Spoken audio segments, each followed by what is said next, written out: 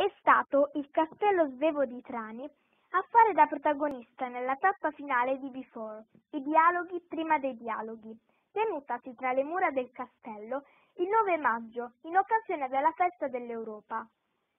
Ad aprire la giornata l'intervento di Alessio Perniola e Pasquale Piscazzi, organizzatori del Festival Scientifico Cassano Scienza, a proposito della fisica.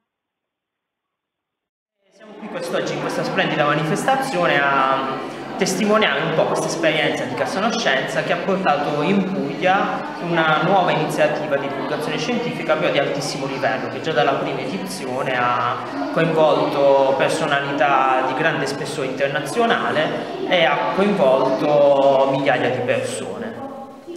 Casanoscenza è stato un appuntamento straordinario, il primo nel sud Italia, a testimoniare come la divulgazione scientifica può legarsi a, che è, a quello che è l'insegnamento, perché è stato organizzato da Multiversi insieme al liceo scientifico di Cassano, come detto, e ehm, ha fatto, dato la possibilità agli studenti di toccare con mano quello che inizialmente è... Ehm, ha un presupposto particolare, cioè quello di eh, volere una capacità di astrazione particolare dagli studenti, cioè lo studio della fisica e di alcune altre discipline che attraverso Cassanoscienza sono state collegate, abbiamo mh, mm, creato un percorso che trasversalmente le ha incluse e eh, le ha fatto toccare con mano agli studenti qualcosa che normalmente invece vedono solamente sui libri e sulle lavagne durante le spiegazioni dei, dei docenti.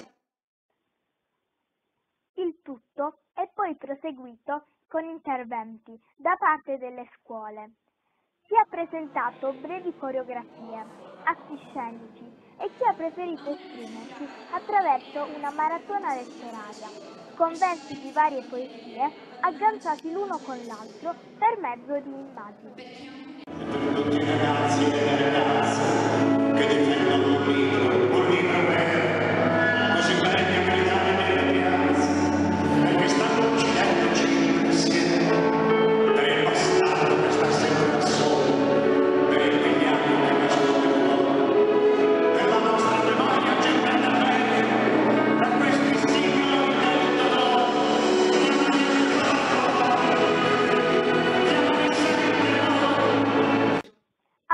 Ascoltiamo le parole della preside dell'Istituto Scientifico di Trani, Angela Dannoia, che descrive il progetto e la manifestazione.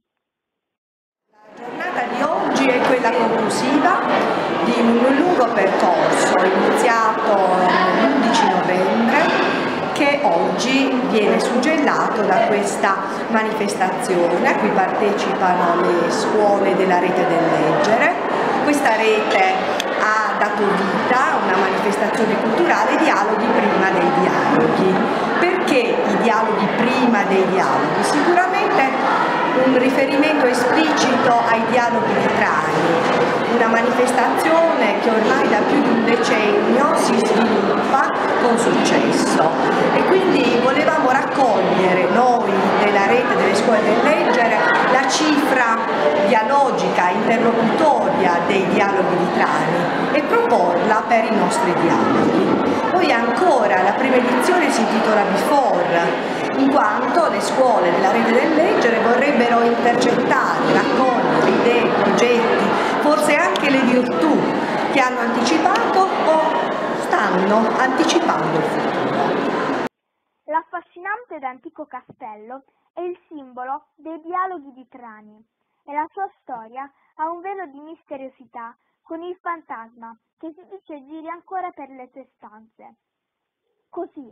nel caldo e soleggiato pomeriggio conclusivo, tenutosi al castello, ci sono loro, i ragazzi che costruiscono il futuro, da qui, dagli incontri tra scuole e idee,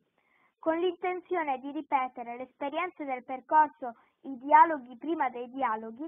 che ha riscontrato una grande approvazione da parte dei giovani del futuro.